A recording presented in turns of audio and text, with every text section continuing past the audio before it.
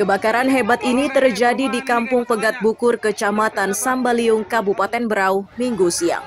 Musibah itu menyebabkan warga panik dan masing-masing berusaha menyelamatkan diri bersama harta bendanya. Api cepat meluas karena bangunannya rata-rata terbuat dari kayu yang mudah terbakar. Jelaskan tuh Apa? Kepala Kampung Suharyadi Kesuma menyebut mereka tidak bisa berbuat banyak karena tidak memiliki alat pemadam.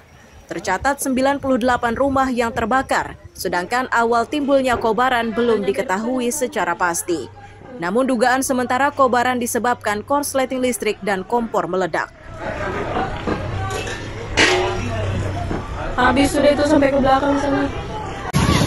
Mungkin uh, untuk indikasinya belum terdeteksi berasal dari satu titik rumah.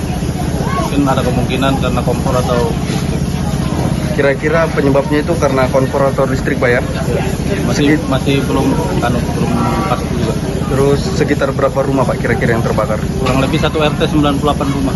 98 rumah. Penanganan sementara untuk korban apakah diungsikan ke posko atau ke rumah keluarganya? Diungsikan. Kita buat Diungsikan. posko. Oke, Pak. Terima kasih. Tidak ada korban jiwa namun permukiman satu RT ludes dilalap si jago merah. Para korbannya akan ditempatkan di posko penampungan sementara. Miko Gusti melaporkan dari Kabupaten Berau.